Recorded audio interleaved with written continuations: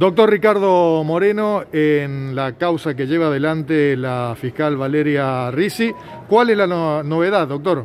La novedad que viene a ponerse a disposición de la señora magistrada, el señor Bacchiani, para aclarar la confusa situación procesal que lo envuelve, eh, para aclarar a dónde vive, que nunca dejó de estar donde él residía, nunca dejó de atender su teléfono, bajo ningún punto de vista nunca eludió el accionar de la justicia y bueno, en virtud de estas denuncias que mediáticamente se están haciendo, eh, viene a aclarar situaciones que lo debe conocer primero la magistrada por una cuestión de secreto de sumario y por una cuestión de un proceso investigativo en marcha.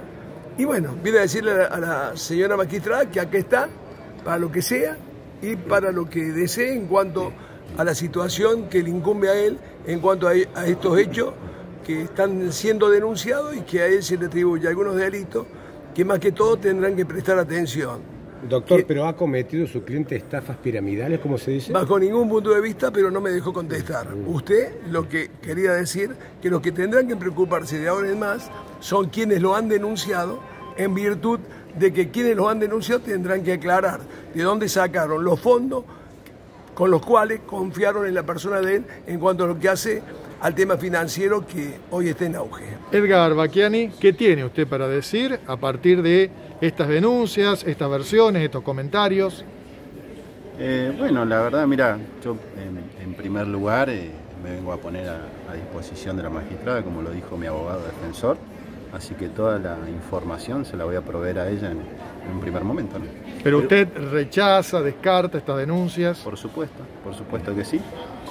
Eh, como dijo el abogado, eh, los que se tienen que preocupar son los denunciantes.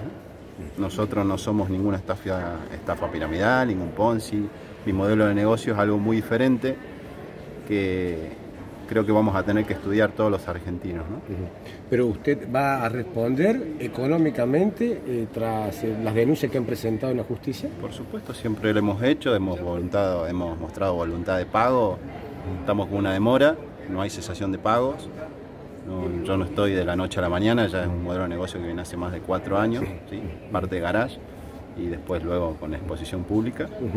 Eh, en primera instancia en Catamarca la gente confía mucho en nosotros y muchos cordobeses también, ¿no? y tucumanos también. ¿Le han embargado recursos, le han embargado bienes?